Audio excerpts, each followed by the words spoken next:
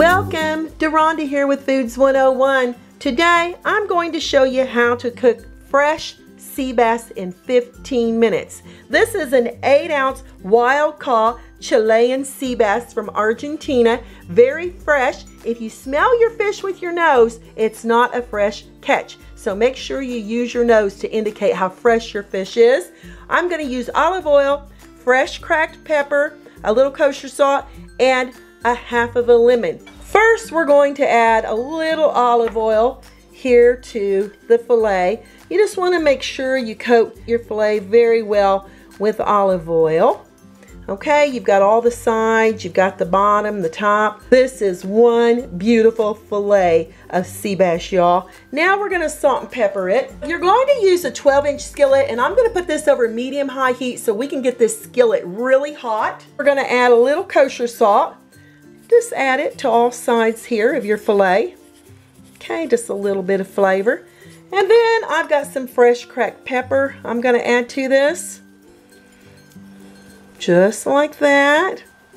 And you can rub it in so you can get it evenly distributed through the sides and the top and bottom of your filet. Now, this goes off to that smoking hot skillet. Sear for five minutes. Do not touch it, move it, or turn it. Let it sear for five minutes. Use your timer. Five minutes are up. It's time to turn this beauty. And I can't wait to see how it looks. Look what a beautiful sear that is. Oh yeah, that's a gorgeous, beautiful sear on there. Time it for five minutes on this side. Use your timer. Second five minutes are up. Now this goes off to a 450 degree preheated oven for the next five minutes. Use your timer. Just took that filet out of the oven and I'm going to put it right here on a serving dish. Oh my goodness.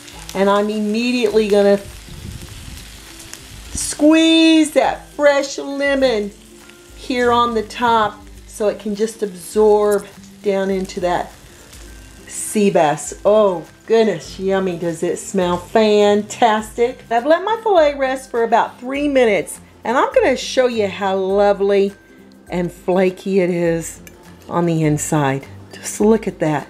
Absolutely. Oh my goodness, and it smells so heavenly and so fresh. Mmm, gotta give it a bite. Mmm, oh my goodness.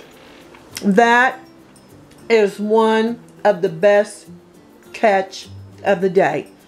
Absolutely out of this world. And look there. Mmm. So flaky. The perfect amount of seasoning. Doesn't need to be much. You really don't want to lose that fabulous sea bass flavor by overloading it with different seasonings. Mmm. Wow. Y'all, you're absolutely going to love this.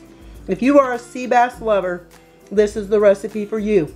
Hey, leave me a comment. Give me thumbs up here on YouTube or Instagram. Leave me a comment, y'all. Share the video. Thanks a million for watching, and I'll catch you next time.